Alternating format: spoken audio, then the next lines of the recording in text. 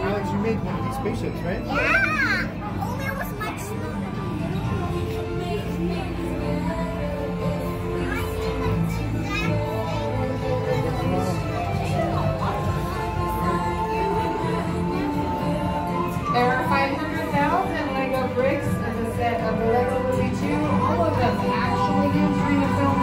It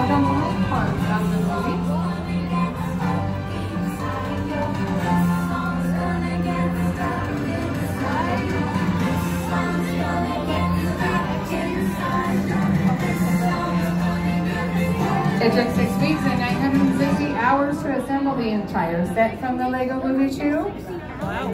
Then it was broken down, brought here, and it took four weeks for four model builders to recreate